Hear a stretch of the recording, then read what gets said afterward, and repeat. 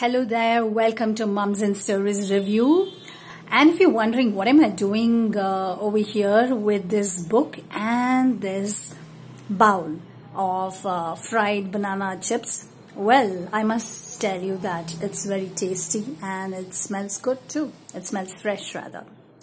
But until technology finds a way out, you know, where you get to find out the exact smell, the exact taste, uh, you know, how about going to a story uh, where somebody was literally fined, somebody was sued because that person smelled bajjis which were being prepared in the nearby food cart.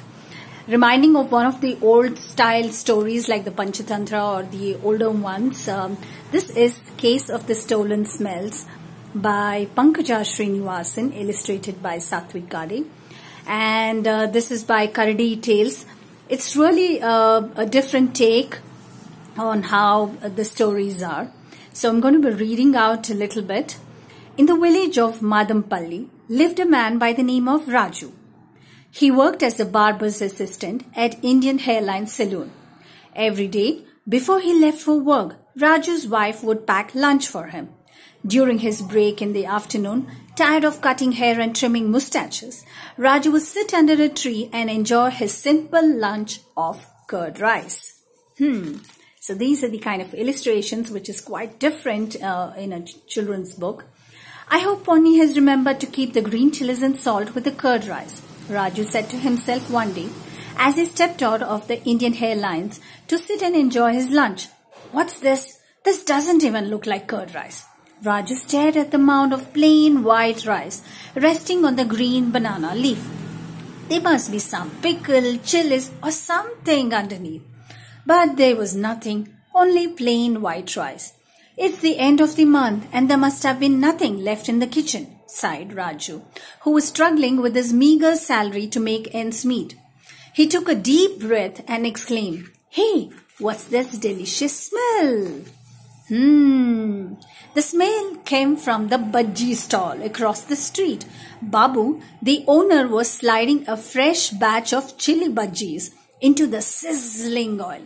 Strings of fat green chilies hung in his stall, waiting to be stuffed with spicy potatoes and fried into delicious golden bajjis. See, I told you the illustrations are very, very different. Mmm, wonderful, drooled Raju. If I shut my eyes, inhale deeply, and put a ball of this plain rice into my mouth, it would feel like I am having bajjis and rice for lunch. Well, he actually did that. Raju did just that. He took a deep breath and held it. Then he put the rice into his mouth and chewed. As he did, he imagined the crunch of the outer layer of the bajji, the juicy chili and the potato filling. Ah! He smelled the bajjis. But then he was taken for a ride. The owner soon got thereafter with him and said that you have smelt the bajjis and now you're going to pay for it. What does Raju do? Yes, of course, he goes to the village panchayat and then what happens? For that, you will have to find out by reading this book by Karadi Tales. It's a very, very interesting book. As I said, it's one of those olden times, uh, simple stories and simple morals. And uh, that's got an, uh, you know, humor interspersed with it. And you're going to find it um, uh, on the Amazon or any other uh, forums where it can be bought or in a library and do definitely read this to your children or ask them to uh, you know read it themselves we would definitely recommend it and uh, yes this is case of the stolen smells. This is mums and stories reviewing this book and we would give this a rating of 4 on 5 thank you